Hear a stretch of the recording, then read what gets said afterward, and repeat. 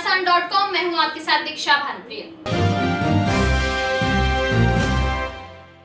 लोकसभा चुनाव के चलते आयकर विभाग को जबलपुर में मध्य प्रदेश में इतिहास का सबसे बड़ा यानी 4,121 करोड़ का हवाला कारोबार का रैकेट पकड़ने में जो सफलता मिली है उसने सभी को चौंका कर रख दिया है। इसकी वजह यह है कि ये देश के इतिहास का बहुत बड़ा हवाला रैकेट मामला है और इसके मुख्य कर्ता धरता है जबलपुर का खूब चंद लालवानी जिसने पूरे देश में रैकेट चला रखा था और वो एक लाख पर तीन सौ रुपए कमीशन लेकर रुपया इधर से उधर करता था। आयकर विभाग ने इसके जो तथ्य जुटाए हैं, वे बेहद चौंकाने वाले हैं। इसने हवाला रैकेट के माध्यम से एक साल में ही सात करोड़ रुपए कमीशन से कमा लिए हैं।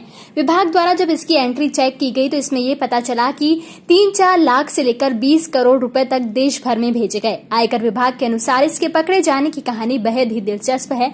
पता चला है कि चार दिन पहले लालवानी के घर से सुनसठ लाख रुपये प्राप्त हुए थे। इसके बाद आयकर विभाग द्वारा इसके घर जाँच शुरू की गई तो वहाँ पर लैपटॉप और रजिस्टर में भारी तादाद में नगद पैसा भेजे जाने का प्रमाण सामने आते चले गए। इसके बाद तो जो हिसाब मिला उससे पता चला कि यहाँ से तो बड़े पैमाने पर हवाला कारोबार संचालित किया जा रहा है। लोकसभा चुनाव को देखते हुए ये भी आशंका व्यक्त की जा रही है कि हवाला रैकेट का उपयोग चुनाव के सिलसिले में भी किया जा रहा होगा। इसकी भी जाँच आयकर विभाग कर रहा है। Subscribe our channel and press the bell icon for more updates.